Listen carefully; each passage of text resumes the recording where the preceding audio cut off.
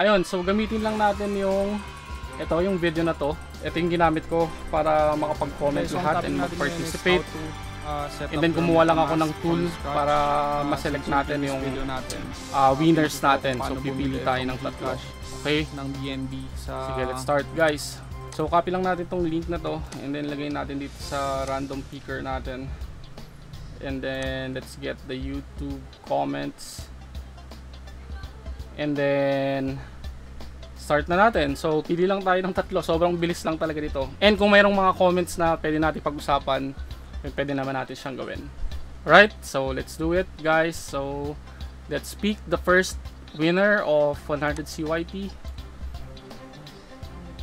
And ayun, si J Mark Obispo. So sabi niya, "Sir, may smart chain po ako sa MetaMask. Mag-add pa po ba ako ng BSC mainnet?"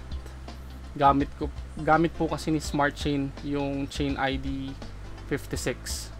Ayun, so I, I think siguro ano lang to, medyo nalilito lang si bro about this kasi minsan yung network name naman uh, same naman yun eh so and, and yung BSC meaning nun is Binance Smart Chain di ba so ang kailangan niya lang i-ensure dito is tama yung mga details niya so sa akin I think yung ginagamit ko na BSC ano natin ah hindi kasi ko dito nagtatransact na pero tingnan lang So tip lang kung nandito kayo sa MetaMask, so pwede kayong pumunta sa expanded view para hindi siya nawawala-wala. And then kung gusto niyo tingnan yung uh, network niya. And then kung gusto niyo tingnan yung network niya, so punta lang kayo dito sa settings, tas network. So ito yung sinasabi niya, kailangan pa daw ba niya gumawa nito. And hindi naman ako aware kung ano yung settings nung sinasabi niya na uh, smart chain pero baka naman pag inopen niya yon 56 din yung laman niya and then yung RPC URL is the same din. Okay, so sana nakatulong yon especially itong uh, expanded view. So I think it's a good tip then. Alright, so let's pick another winner kasi pipili tayo ng tatlo ngayon. Let's pick another one.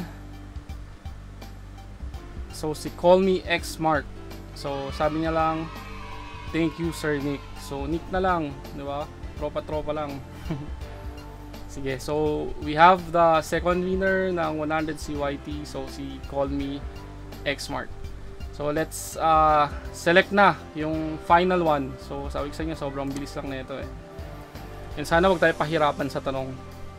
Okay, so si Judith Lacson. So sabi niya, is what if nauna akong bumili ng CYT bago ko nagawa yung add token mawawala ba yung CYT. So siguro sinasabi niya na um, nakabili na siya ng CYT, nag uh, nakakuha na siya papunta sa wallet niya, pero hindi pa niya na-add yung token na yon.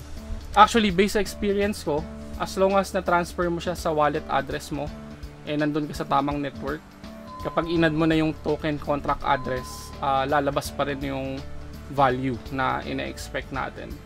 So yun, kung meron kayong ibang experience guys, so you can comment and share your experience din para ma-validate natin kung tama ba yung experience ko. Pero usually ganun naman yung na-experience ko doon. Ayun, so I think that's it.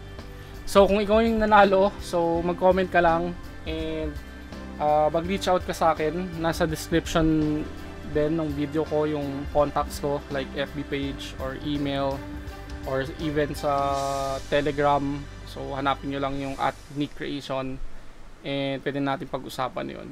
So, make sure lang natin na ano ah, wala nang poster yan. So, I will try my best na sa mga future videos pa, merong mga surprise giveaway. Like, kung may comment ka sa isang video, pwede nating buksan na lang yung ano na yun, tapos select tayo ng winner doon. Or, yung iba naman, mag-a-announce na lang ako. Actually, merong isang bagong game.